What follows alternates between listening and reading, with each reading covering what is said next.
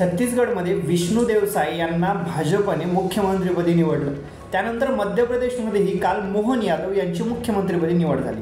या दोन्ही राज्यामध्ये भाजपनं मुख्यमंत्रीपदाची निवड करताना धक्कातंत्राचा वापर करत चर्चेत असलेल्या कोणालाही मुख्यमंत्रीपदी न निवडता न बसवता दुसऱ्या एखाद्या व्यक्तीला धक्कातंत्राचा वापर करून मुख्यमंत्रीपदाची खुर्ची दिलेली पाहायला मिळाली. यावरून एकतर पक्क झालं होतं की राजस्थानमध्येही असंच होणार. त्यात आज जेव्हा राज राजनाथ सिंग विनोद तावडे राजस्थानमध्ये जयपूरला पोहोचले तेव्हापासून चर्चेत असलेल्या वसुंधरा राजे या त्यांच्यासोबत होत्या.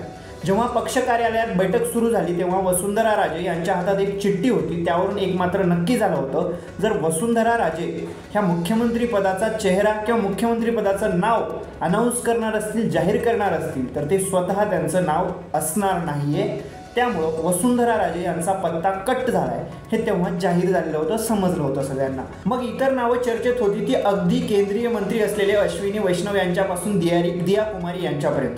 परंतु या कोणाचीही वर्णी मुख्यमंत्रीपदी लागली नाही. आणि थेट एक नाव झळकलं ते म्हणजे भजनलाल शर्मा यांचं. राजस्थानचे नवे मुख्यमंत्री म्हणून. मग हे नेमके भजनलाल शर्मा कोण आहेत? यांच्याविषयी जाणून घेणार आहोत या व्हिडिओच्या माध्यमातून. नमस्कार मी प्रथमेश आणि आपण सर्वजण पाहताय नवराष्ट्र. राजस्थानमध्ये भाजपचे केंद्रीय नेतृत्वाने संरक्षण मंत्री राजनाथ सिंग विनोद तावडे आणि सरोज पांडे यांना राजस्थानचे निरीक्षक बनवलं होतं. ज्यांनी मुख्यमंत्र्याच्या नावाची घोषणा केली. बैठकीसाठी सर्व आमदारांना दुपारी एक वाजता भाजपच्या जयपूर कार्यालयात बोलवण्यात आलं होतं.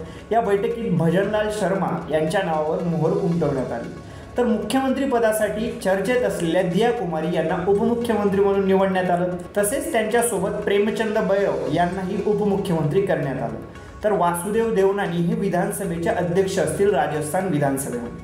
नव्याने मुख्यमंत्रीपदाची माळ गळ्यात पडलेले भजनलाल शर्मा हे भरतपूरचे रहिवासी आहेत. ते दीर्घकाळापासून भाजपसोबत कार्यरत आहेत. भाजपसोबत त्यांना पक्ष संघटनेचं त्यांनी काम केलेलं आहे.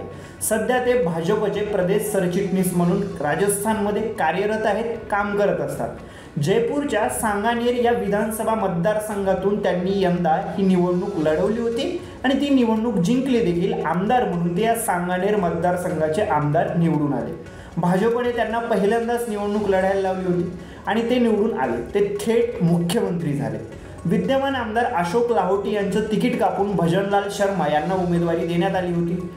सांगानेर हा भाजपाचा बालेकिल्ला समजला जातो त्यामुळे भजनलाल शर्मा येथून विजयी झाले.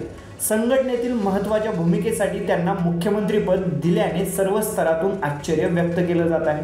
त्यांच्याकडे सेहेचाळीस लाख छप्पन्न हजार सहाशे सहासष्ट रुपये इतकी संपत्ती आहे. भजनलाल शर्मा यांनी आपले पोस्ट ग्रॅज्युएशन पूर्ण केलं पदव्युत्तर शिक्षण त्यांनी पूर्ण केलेलं आहे. तसेच जयपूरच्या राजस्थान विद्यापीठातून त्यांनी एम ए पॉलिटिक्सचे शिक्षण देखील घेतलेलं आहे. त्यांची निव्वळ संपत्तीबद्दल बोलायचं झालं तर तो एक लक्षाधीश देखील आहे. त्यांची एकूण मालमत्ता ही एक कोटी सेहेचाळीस लाख छप्पन हजार सहाशे सहासष्ट रुपये आहे. तर दायित्वे पस्तीस लाख रुपये आहेत. विधानसभा निवडणुकीत दिलेल्या संपत्तीच्या तपशिलाशी संबंधित प्रतिज्ञापत्रानुसार राजस्थानचे नवे मुख्यमंत्री भजनलाल शर्मा यांच्या एकूण संपत्तीपैकी एक लाख पंधरा हजार रुपये रोख आहेत तर त्यांच्याकडे सुमारे अकरा अकरा लाख रुपयांच्या ठेवी आहेत. विविध बँकांमध्ये त्यांची खाते आहेत. त्यांच्या पत्नीच्या नावावर दीड लाख रुपये रोख आणि दहा हजार रुपये बँकेत जमा आहेत. राजस्थानचे मुख्यमंत्री भजनलाल शर्मा यांच्याकडे तीन तोळं सोनं आहे ज्याची किंमत ही एक लाख ऐंशी हजार रुपये आज घडीला आहे. त्यांनी शेअर्स किंवा बॉन्ड्समध्ये कोणतीही गुंतवणूक केलेली नाही आहे परंतु त्यांच्याकडे एल आय सी आणि एच डी एफ सी लाईफच्या दोन विमा पॉलिसी देखील आहेत ज्यांची किंमत ही दोन लाख त्र्याऐंशी हजार आठशे सतरा रुपये आहे. याशिवाय वाहनाबद्दल बोलायचं झालं तर राजस्थानचे नवनिर्वाचित मुख्यमंत्री भजनलाल यांच्या नावावर टाटा सफारी आहे ज्याची किंमत पाच लाख रुपये प्रतिज्ञापत्रात नमूद आहे. याशिवाय एक टी व्ही एस व्हिक्टर आहे मोटरसायकल ज्याची किंमत पस्तीस हजार रुपये सांगण्यात आली. अशा प्रकारे भजनलाल शर्मा हे पहिल्यांदाच आमदार झाले आणि ते थेट पहिल्यांदा मुख्यमंत्री झाले.